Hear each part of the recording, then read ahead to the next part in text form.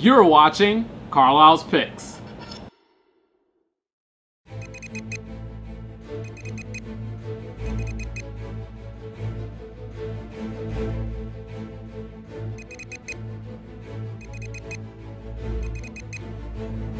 I gotta get out of character, my voice is killing me. So anyway, we're filming Dark Knight Rising in uh, New York City, and it's pretty cool. We did a lot of awesome stuff. Everyone's really professional, except for this one camera guy.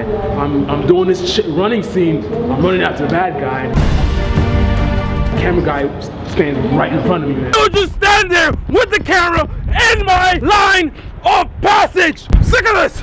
Amateurs! I kind of lost it, and I like to apologize to the fans. I like to apologize to the actor and all the crew and everyone for my unprofessional behavior. Uh, I do have a bit of a temper. Anyway, I don't want to talk about that. Anyway, the, the movie's pretty cool, and you guys are gonna love it. It's coming out in 2012. It's called Dark Knight Rising, and I'm the star. I'm the one that's really making. That sounds kind of arrogant. Can you cut that out? Are you gonna cut that out? I don't want that in there because people think I'm a, I'm a jerk. I don't want to do this anymore. All right, just just can can can, can, can I work here? This is